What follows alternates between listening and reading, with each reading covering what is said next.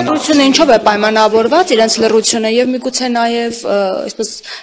աջակցող նաեւ գործողություններ լինեն, որպեսզի ոդկի կանգնի սփյուռքը։ Ես ավելացնեմ էլի մի անգամից պատասխանեք։ Իսկ սփյուռքը օգտագործում է իր բոլոր հնարավորությունները իրավական կամ ասենք միջազգային այլ մեխանիզմներում լավ աջակից դառնալու, որովհետեւ հագին հնարավորություններ ունի սփյուռքը միջազգային Տեսեք, Սփյուռքում շատ բաներ են տեղ ունենում, շատ հաճախ գործողություններ կան, որոնք տեսնելի չեն, գործողություններ են ձեռնարկվում, որոնք չեն PR-վում իրականում եւ նոր նախաձեռնություններ կան, այնտեղ բաց է նաեւ առաջացել մեծ այդ լոբիստական իմաստով, որովհետեւ կառույցներից մեկը, որը ընդհանրապես զբաղվել է հայոց ցեղասպանության փաստի ճանաչման գործունեությամբ եւ որը լավ թե վատ ամենա երևի մեծ կառույցներ մինչև վերջերս նման գործողություններ այսինքն լոբիզմով զբաղվելու իմաստով այսպես իրեն դուրս է հանել այդ դաշտից հաստորեն իր ինչո իրենք անում են մի բան ես բայց ես հստակ չեմ տեսնում թե որևէ գործ, գործողություն որը չի արվում Հայաստանի ընդհանուր հայերը հաշվի առնելով կամ ինչ որ կոորդինացիա գոնե չկա, գոնե գաղափարական, չեմ կարծում, որ հաջողությամբ կպսակվի։ Պարզապես ես նախորդ 30 տարիների օրինակ փորձը օրինակ, չէ՞, մենք ցեղասպանության ճանաչման վրա սփյուռքում սկան ռեսուրսներ օգտագործեցինք եւ հասանք նպատակին ցեղասպանության ճանաչման, բայց հասանք մարտավարական արդյունքների, ռազմավարականի չհասանք, այսինքն ցեղասպանությունը ճանաչվեց, մենք բարոյական հաղթանակ տարանք, բայց դրանով այսօրվա հայ ժողովրդի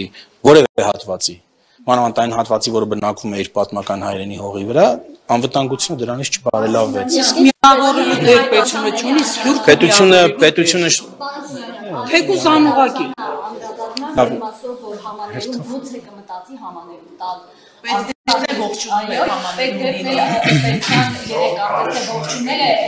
կներեք համաներում ում ինչին? Արցախի իշխանություններին հայտարարել Յաչինը որ Արցախի իշխանություններին համաներում հայտարարելու մասին գուցե ինքը մտածել Հա, որ ինչ է, ինչ է ուզում, ինչ է տալիս ինձ։ Պետքանն ասում է որ նորմալ է համաներում որ այսպես ասած Տեսեք, պետք դե մինչև ինքս չկարդամ, որովհետև անգլերեն իմ լեզուն է, մինչև չկարդամ, տեսնեմ կոնկրետ ինչ ասել, չեմ արձագանքի դե։ Իսկ ձեր ասած մասը, որ Ալիևը տենց բան է ասել, հարցը ինչ է, ասել է եւ հացի շարունակությունների մասին է, որ հստակության միացյալ նահանգները արդեն այդ քունի մեջ է ողջունում է Ալիևի հայտարարությունը։ Հա, տեսեք, ինչեւ չծանոթան պետ դեպի։ Լավություն է արել Ալիևը, որ համաներում է շնորհում։ Այդպես է մեկնաբանվում։ Նոր արձագանք եմ չարող, որտեվ ամեն բանը այդ մանրուքները շատ մեծ դեր են խաղում։ Սինանյան դուք Սփյուռքի հետ աշխատող Հայաստան գլխավոր պաշտոնյան եք։ Սփյուռքը երբեք անկախությունից հետո այսքան բարակոց չի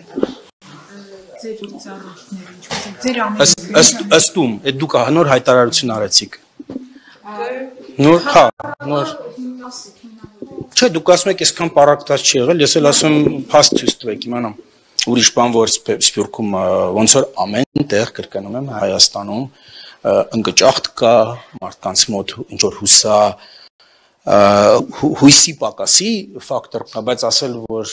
երբեք այսքան պարակտված չեղել, դուք երևի Սփյուռքի 50-ական թվականների պատմությանը ծանոթ չեք, Դամասկոսում, Լիբանանում ինչ է կատարվել, ինչպես էին սանում իրար տարբեր կուսակցության անդամները, ինչպես տասնամյակներով իրար աղջիկը տղա չեն տվել, ինչպես երբ որ հայաստանցիները գնում էին 80-ական, 70-ական թվերին ապրելու այդ ավանդական կառույցները չէին ընդունում հայաստանցիներին, ասում էին, ասում, ինչ պարակցության մասն է։ Երևի ծանոթ չեք պարակցության։ Հայրենիքին ուղղված գործողությունները կոորդինացնելու մասին։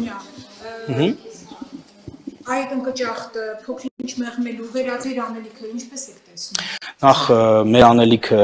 շարունակել աշխատել Սփյուռքի հետ բոլոր ուղղություններով բոլորի հետ իհարկե նենց չի որ ստացվում է բոլորի հետ բայց կրկնում եմ նրանից որ մեր դռներն են փակ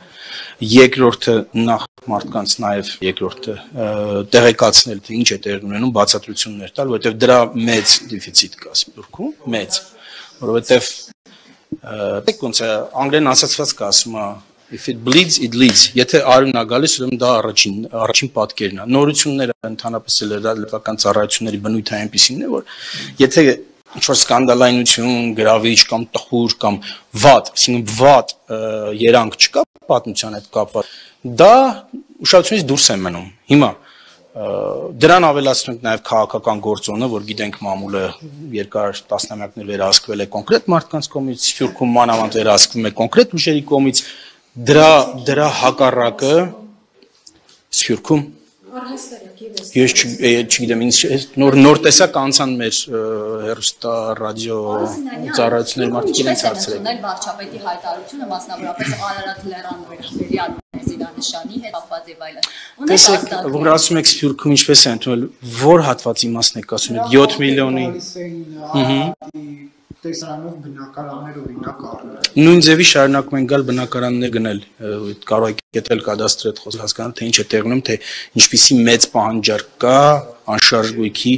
հենց մեր սփյուռքահայերի մոտ։ Այ ես իրենց այդ առնչում, ես գիտեմ թե ինչպիսի մեծ Շապետի տեսակետը, որ ինչ։ որ Հայաստանի ամենաբարձր լեռը Արագածն է։ Հայաստանի Հանրապետության տարածքում գտնվող ամենաբարձր լեռը Արագածն է։ Դուք դուք մի քիչ երևի վարչապետի ասացի հոգեբանական պահը չեք հասկացել, միգուցե կամ հասկացել եք Նարեկ ջան, բայց ասեմ, ըստ իս, ինչպես ես, ինչպես եմ ես հասկացել, ասել եմ, մարդը ասում է, որ տեսեք, արագացնել է մեր լեռը ու արագացը մանավանդ մեր տարածքում, եկեք արագացնել սիրենք։ Այսինքն ինչ վարանք Պարոն այդտեղ։ Սինյանյան, կներեք էլի հարցից պատասխանը։ Ընդհանուր առմամբ, այսինքն միանշանակ որևէ բողոքի բան կա, այսպես էս հայտարարության։ Արարատ լեռան հետ չեմ լսել։ Չեք լսել։ Չեմ լսել, բայց համոզված եմ, որ մարդիկ կլինեն, որոնց դուրը չի եկել, որովհետև կրկնում եմ, նայած ոնց են իրենք ընկալել, իրենք ինչպես են դա ընկալել։ Եվ այն հայտարարությունները այն մասին, որ ըստ էության այս իշխանության օրերին տապալվել է հայոց ցեղասպանության ճանաչման գործընթացը։ Դուք ինչպես Ո՞վ ասել։ Կներեք, բայց այդ ինչ գործընթաց է, մի հատ ասեմ։ Համբարանից են ասում, որ հետին պլան է մղվել, այս Բայց ինչ ցեղասպանության ճանաչման գործընթացը մեզ ճանաչվել է։ Ոնց գործընթացը վերջացավ, ավարտվեց։ Ես ասում եմ կրկն ոնց, չէ, չէ, մի ոգի ամբողջ աշխարհում ում եք, ում եք, ով, այսինքն Չինաստանը երևի չի ճանաչել, ճիշտ է։ Արևմտյան, այո, արևմտյան երկրները Ռուսաստան, Հաջորդ թող չես քայլերը պետք է զուգահեռ լինեն։ Հայ մեր ցեղասպանության փաստը պետք է ուղղակիորեն, տես նորից կրկնում եմ ասած, մի քիչ առաջ ասի, պետք է ուղղակիորեն կապվի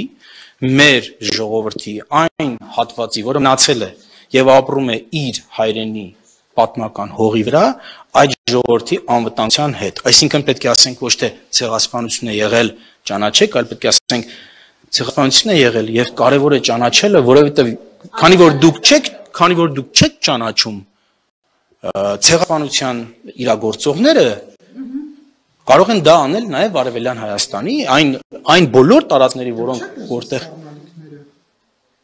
չհասկացա։ Ես ես դες ասում որ դա պետք է լինի մեր քաղաքականությունը, որ մենք աշխարհին պետք է կոմունիկացնենք, որ ցեղասպանության ճանաչումը ինքնին օթի մեջ բան չի տալիս, բացի ինչ որ բարոյական շոյվածությունից։ Մենք պետք է դա կապենք այսօրվա մեր անվտանգության հետ։ Ամեն Հայաստանի Հանրապետության տարածքում, Արցախում եւ ուր որ հայ ժողովուրդը ապրում էր պատմական հողի վրա։ Ինչ պիտի արվի, դե տեսեք, այդ մեզ այդ այդ աշխատանքի ամբողջ բնույթը պետք է հենց այդ ձևով կառուցվի։ Գրում եմ, ոչ թե զուտ ցեղասպանության ճանաչում, այլ ցեղասպանությունը, տեսեք դուք ցեղասպանությունը քանի որ այսքան երկար տևեց, օրինակ ճանաչել եք, դուք ողջևորեցիք այլ պետությունների, որոնք այսօր շրջափակման մեջ են վերցել 120.000 բնակչության։